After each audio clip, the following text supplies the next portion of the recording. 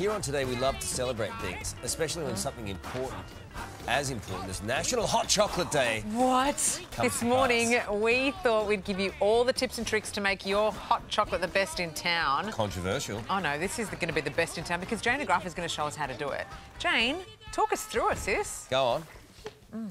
Oh, good morning, good morning, guys. Hot Chocolate Day is one of the fun ones to celebrate because you can do it your own way. And the first thing you need to think about is the kind of chocolate that you're going to choose. So there are all different kinds. There's the powdered kind, there's the beautiful chocolate curl kind, and then, of course, you can chop the chocolate up yourself.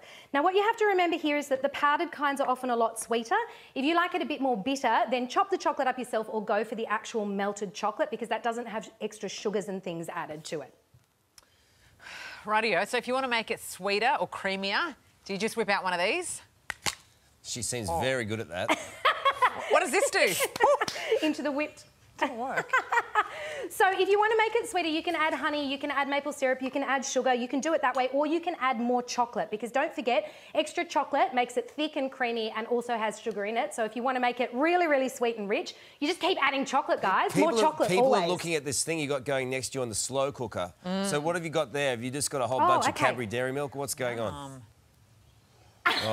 So what you do is you make your favourite kind of hot chocolate and then you keep it in the slow cooker. The best thing about this is it means people can come and serve it for themselves whenever they want it. There's lots of it there, but the temperature of a slow cooker when you pop it on low is actually perfect because it's not going to scald the milk. And the last thing that you want is burnt or scalded cream when you're making beautiful hot chocolate. But let me show you the Parisian trend for really rich, thick hot chocolate. Are you ready for this?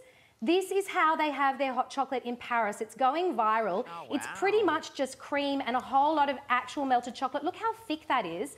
And then in some of the really fancy cafes, they serve it with a side of extra cream.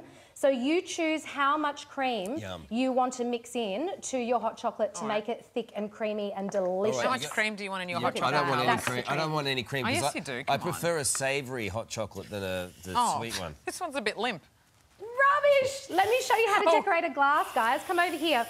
Because you need to, if you really want to amp it up again, you can do something like this. Get some chocolate ganache, put a glass straight into it, and when you pull it out, look at that, the rim is covered in chocolate. Come down here and we'll just dip it in some sprinkles.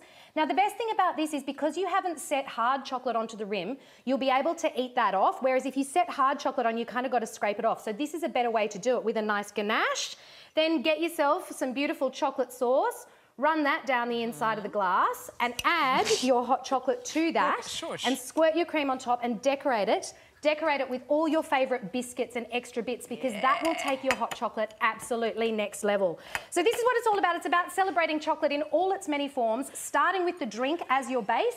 So you can do it as a nice hang powdered on, one hang if you like put it some- really I'll put sweet. some You hot can make chocolate. it. Yeah. There you go. And then do I do this? And then Do you I put ha- that on top. it- did I shake it up enough? Yeah. Are you squirting the cream? You got to do the cream. Okay. Oh no, it's everywhere. Um, Jane, So what So I thought was going to lots the happen. point is you can have fun with hot chocolate like Sarah is right now.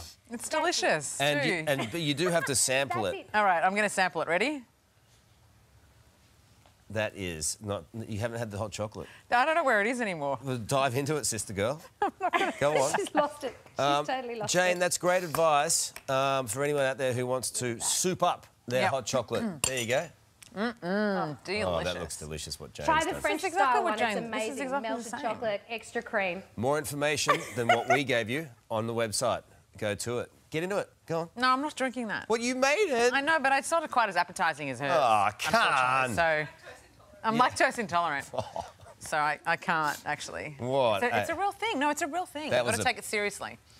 oh, yeah. It's a real thing. It's a proper mess. So I can have the marshmallow though.